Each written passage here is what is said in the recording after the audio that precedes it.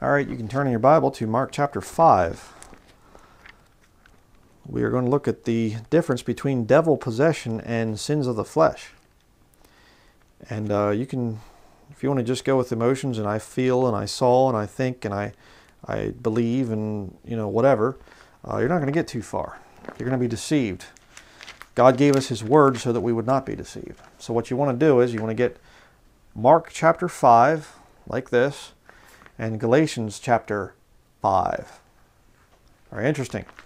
Mark chapter 5, verses 1 through 9, is about real, true devil possession and the marks of it. How they could tell that the guy was possessed with devils. Galatians chapter 5 is written to Christians.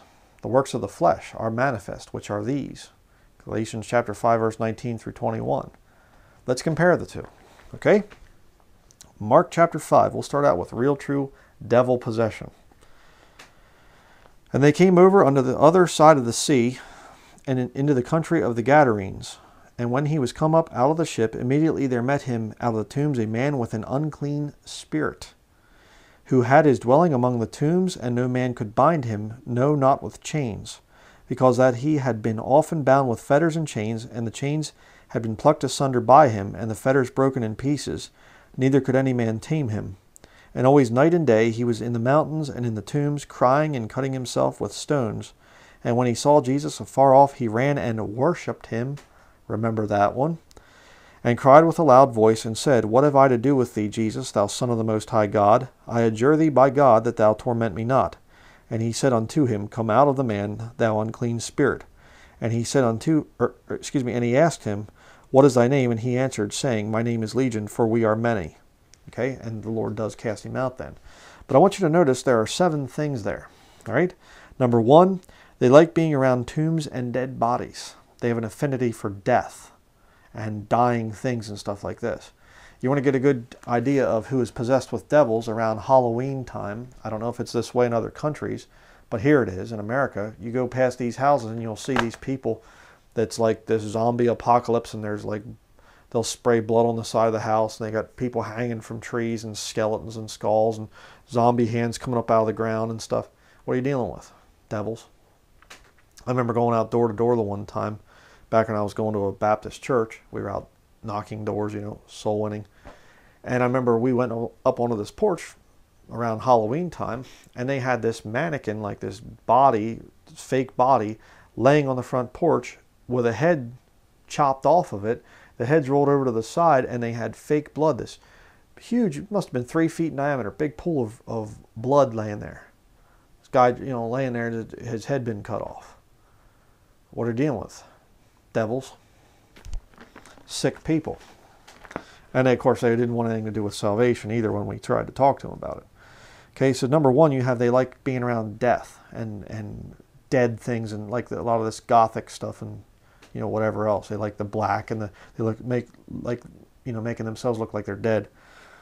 You know, people with skull and bones on, tattooed on them and skulls, this and death and death and death. Devils. Number two, unusual strength. They were binding him with chains, and he's just snapping the chains.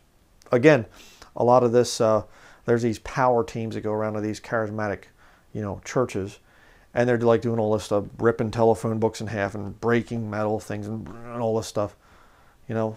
And I was told actually that there was one a Bible believing Christian went to one of these things, and they started praying, and some of the guys couldn't do their feats of strength, and they were like, "Oh, something something's a little wrong. I don't know what's going on," or oh, you know, devils. That's what that is. and you know, oh, they witnessed for Jesus. Yeah, they witnessed for another Jesus the Jesus of the new versions. Number three, no one could tame him or talk sense into him. Okay? There again, another mark of devil possession. You get these people that are just totally unreasonable and they're just, they're nuts and they're crazy and, and you can't reason with them. Um, you know, you'll, you'll get that.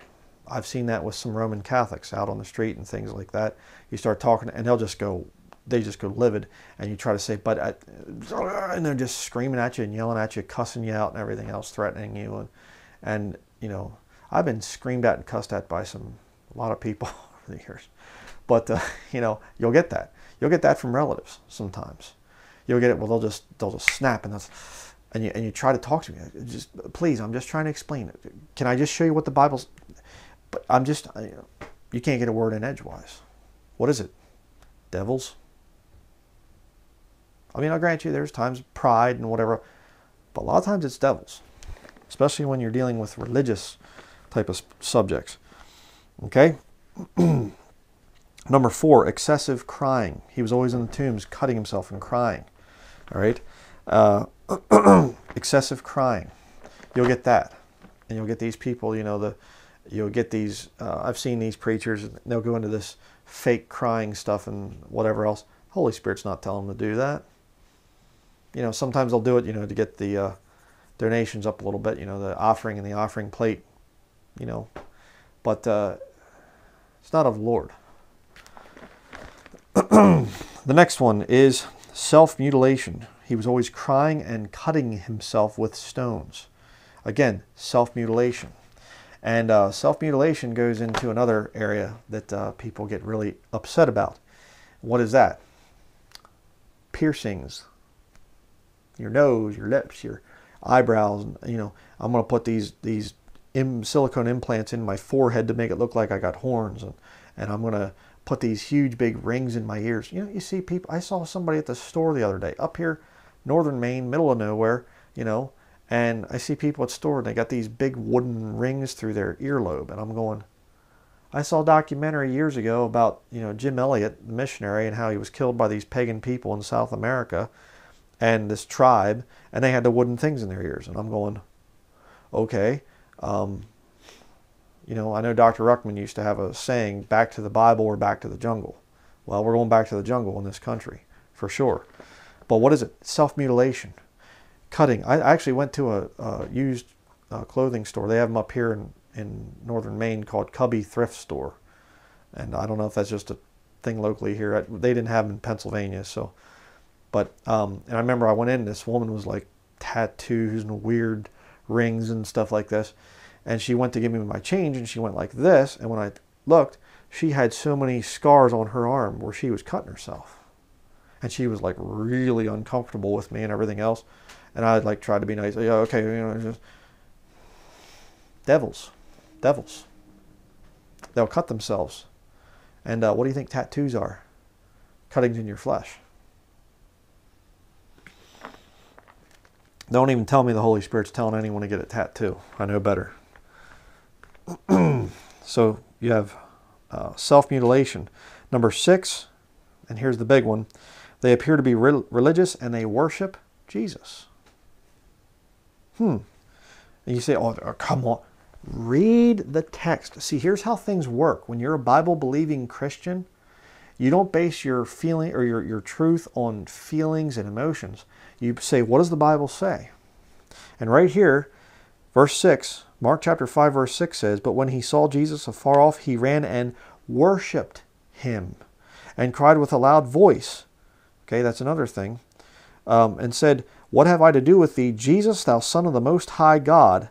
I adjure thee by God that thou torment me not. It's kind of funny. I'm, you know, back and forth with this little Satanist healer. You know, he casts out devils, Chrysalis Satan, and uh, and he's like, you know, Jesus is is uh, you know, the Son of the Most High God, but he is not the Most High God. Well, that's the confession of a devil according to our text right there. What have I to do with thee? Jesus, thou Son of the Most High God. That's the confession of a devil. If you want to see a devil speaking, watch Chris LaSala's video. You're watching a devil. You say, oh, you, you didn't prove anything. It's right there, right in front of your face. He's a devil. But I find it interesting too that you get this uh, last Reformation cuckoo bird nonsense. Um, they're casting out devils after the people are baptized. No one does that in Scripture. Jesus didn't do it in there. Mark chapter 5. He didn't say, okay, let me take you down and baptize you, you know, and stuff. You have put your faith in Jesus. Okay, we'll baptize you. Now we'll cast the devils out. Jesus never did that. Okay? But the other thing that's important to remember is when these uh, devils are cast out of people with this last Reformation stuff. It's like, how do you feel? How do you feel? thank you, Jesus. You know, and, stuff, and he's jumping up and down. Praise the Lord. Praise Jesus. What is that? Well, according to our text right there, um, it's a mark of devil possession. He's not taking devils out, he's putting them in. I'll say that one more time. These fake healers, Torben Søndergaard, Chris LaSala, any of them, I just picked two of those little Pharisees. These fake healers are imparting devils. They're putting them in, not taking them out. That's why you see these people, you know, oh, praise the Lord, praise Jesus. Oh, they're worshiping Jesus. Just like our text said that the guy with devils did. And notice it says there, cried with a loud voice, another mark of devil possession. They worship Jesus with a loud voice. Do you understand? But I, I, shouldn't be submillitant. I shouldn't, I shouldn't speak against them. I shouldn't call them names. No, I should just be nice and friendly and kind to people who are damning others to hell. Some of you people really make me sick. I'll tell you what. You know, don't be so cruel. Don't be so angry. Do you understand what hell is? Do you understand? Knowing therefore the terror of the Lord, we persuade men. Do you understand what happens if I keep my mouth shut and if I just say, oh, well, you know, and just. They're damning people to hell. They're preying on the sick. It doesn't make you mad? It Doesn't fill you with anger? It filled Jesus with anger. What's your problem? Oh, I'm getting mad again. Yeah, deal with it. I'm a man. I'm not some stinking little sissy. Oh, I hate to see you get angry. Then go watch something else. I'm going to get angry. I'm going to get mad when I see people going to hell. And if you don't get angry about stuff like that, then I question your salvation. What are you, just totally dead spiritually? We shouldn't get angry at people going to hell. You know, people, you know, false teachers sending people to hell. That shouldn't make us mad. We should come to them in a spirit of love. yeah. Galatians chapter 5, verse 19 through 21. Now let's, let's make the contrast here, okay? We had devil possession here in Mark 5. Let's go to see the sins of the flesh, okay? This is a big thing. We'll go through this. Galatians chapter 5, verse 19. Now the works of the flesh are manifest, which are these adultery, fornication, uncleanness, lasciviousness, idolatry, witchcraft, hatred, variance, emulations, wrath, strife, seditions, heresies, envyings, murders, drunkenness, revelings, and such like of the which I tell you before, as I have also told you in time past, that they which do such things shall not inherit the kingdom of God. Okay, the kingdom of God is spiritual fellowship with the Lord or the millennial kingdom. This is written to Christians. You say, well, huh? A Christian can do those things in Galatians chapter 5? Absolutely. Absolutely. You say a Christian can get involved in witchcraft? Yeah. Feminism is witchcraft. Can Christian women get into feminism? Start falling into that thing? Yeah, they can. And all the other stuff in through there. Paul's writing that stuff to warn Christians. But see, here's the point I need to make. These charismatic wingnuts, when they come out and they say, you know, I cast out devils from people. and you look at them and you look into this thing. You have a devil of lust. I'm going to cast it out. You have a devil of, of uh, eating jelly donuts. We got to cast that out. You have a devil of uh, the devil of of uh, picking your nose or something like that. All these weird little the devil of pornography. You know, its name is such and such. The devil of hatred. The devil of the. Where's this stuff at in Scripture? You know, when I read my King James Bible, I read here in Mark chapter five that these people that are this guy that's possessed with devils acts like a modern charismatic. Weird, isn't it? Where in the Bible do I read anything about the, the devil of, of, does Paul say, you know, the devil of adultery and the devil of fornication, the devil of unclean? He says it's the lust of the flesh. They're manifest. It's manifest. You can see it all around you. Christians struggle with sin. That doesn't mean that they're devil possessed. It's a lot of nonsense. All right? So, you know, I could keep going on and saying a lot more on this whole subject, but the whole point is don't fall for this whole thing of they're casting devils out and stuff like this. And again, you know, another little point I want to make here. If you look over at 2 Corinthians chapter 12, we'll go there. Go there to uh, I've quoted this thing many, many, many times because it's a very, very important scripture in your King James Bible. But uh, 2 Corinthians chapter 11, excuse me, chapter 11, uh, verse 13 through 15. For such are false apostles, deceitful workers, transforming themselves into the apostles of Christ, like the charismatic healers. And no marvel, for Satan himself is transformed into an angel of light. Therefore, it is no great thing if his ministers also be transformed as the ministers of righteousness, whose end shall be according to their works. You know it's so funny to me? These guys come out and they say, Who are you to judge me? You know, look at the fruits of my ministry. Look at all the people I've cast devils out. You know what they're doing? They're saying, I'm going to be judged by my works. They're absolutely right. I find that to be very interesting. They are the ones that are devil possessed. They're worshiping Jesus. Why? Because Mark chapter 5 has a guy that's worshiping Jesus. Legion. Read it. Read it. You know? Well, I, I came to this healer and, and he took away my, my the devil of lust, and now I no longer lust. Okay, but what's your problem now? See? they'll take away the devil of lust and then they get the devil of uh, gluttony or the devil of money or mammon or something like this. And it just, they, they get, this devil needs to be cast out. And then, you know, they're always having the devils cast out of them and stuff like this. But they can sure praise Jesus. Yeah. Uh huh. Don't even realize it. Realize it that the, the ministers of Satan appear as the ministers of righteousness.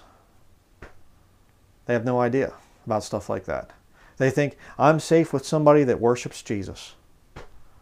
Well, you don't read the Bible. It's a shame.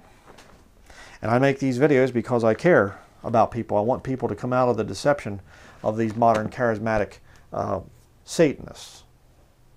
Yeah, yeah, people, oh, you're saying you're calling so many people Satanists. Yeah, we're living in the end times, you know? You know, I mean, uh, I guess I should be politically correct according to some of the losers out there. I'm not going to be politically correct. You know, well, I'm getting very angry. Then watch something else. Okay? you know? And I get this thing too, you know, well, uh, such and such pastor, you know, the, this pastor, he doesn't act the way that you do. Yeah, because the pastors get their stinking little Babel buildings where they can be insulated in there with all the little people that get along with them. And if somebody's a problem, they kick them out, ask them to leave their fellowship and stuff like this. And they won't dare open their mouth about controversial subjects. They might hit a few here and there, but there's a bunch of stuff that's just off limits. This makes me sick. You know, I have never shunned to declare unto anybody the whole counsel of God. You know, I've never once said, okay, this is too controversial. I'm not bringing this thing out. And I get kicked, and then when I try to fight back, it's like, don't don't fight back. You know, we're just going to come. We're going to stab you in the back, Brian, and you don't. You're not allowed to fight back. Sorry, uh, I don't fall for that. So, uh, if you're out there and you've been deceived by this whole thing of uh, the devils being cast out and all this other stuff, uh, you better repent real quickly and get away from that stuff. Um, if they're talking to you about, you know, if you're having problems with your flesh and you're you're saying, "Boy, I'm really struggling." over this or whatever, go to Galatians chapter 5 and read down through there and say, oh, let the Holy Spirit convict you. You don't need to have devils cast out of you if you're saved. All right? You're not going to have devils in you if you're saved. You're going to have problems with your flesh. Read Romans chapter 7. All right? You will have problems with your flesh. But you don't have devils in you for crying out loud. All right? and these people that come along and they, they praise the Lord and praise Jesus after they've had devils cast out. Like I said, the devils were cast in. So that's going to be it. Thank you for watching.